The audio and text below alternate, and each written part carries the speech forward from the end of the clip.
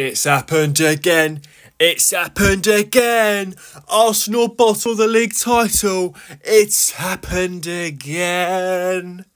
Take a bow, son. You are beautiful. I love you so much. Beating Villa's not for everyone, is it? Oh, dear, dear, dearie me. Good evening. It was to happen. It was going to happen. It had to happen eventually. Arsenal are like an elephant in a tree. You don't know how it got there, but you know eventually it's going to fall. All over my Twitter timeline is just confusion. It's like Odegaard had such a great game. He's the only person that did. I'll tell you who didn't have a good game. You knew that was going to happen, didn't you?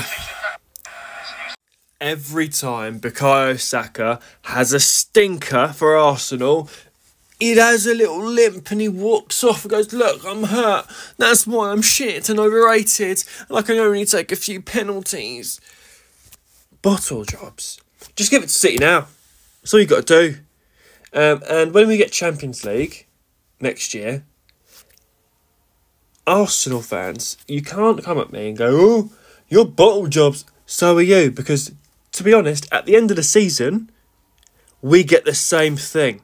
If we finish fifth or fourth and get Champions League football, and you finish second or third and get Champions League football, that is the exact same thing. Whether it's the we got bigger fish to fry because you're not winning the Champions League, you're not in the FA Cup, Carabao Cup's already done, and the league title could could be done already. So you're the same as us. We're both bottle jobs from North London.